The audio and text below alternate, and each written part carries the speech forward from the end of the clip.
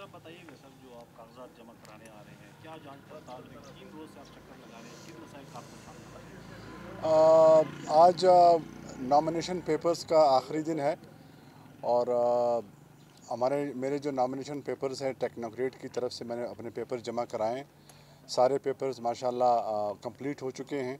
उनके कुछ रिक्वायरमेंट्स थे उन्होंने हमने पूरे किए based on a technocrat seat तो उन्होंने जाँच पड़ताल आज की है उसको तो बाद में होनी है लेकिन सारे डॉक्यूमेंट्स पूरे करके दे दिए और हमारे नॉमिनेशन पेपर्स पूरे हो गए। अच्छा इस हवाले से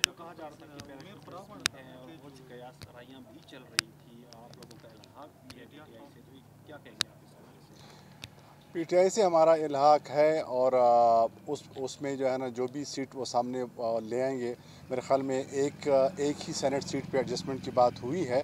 तो जिस तरह हमारी लीडरशिप ने उस पर वादा किया और कॉम्प्रोमाइज़ किया तो उसको इंशाल्लाह हम पूरा करेंगे। वो भी जो भी कैंडिडेट सामने लाएँगे। अच्छा बारह नशस्तों पर सिर्फ़ आपकी पार्टी की जानब से पंद्रह उम्मीदवार सामने आए हैं। क्या समझते हैं कि एंड ऑफ़ डे कितने उम्मीदवार रह जाएँगे इसमें?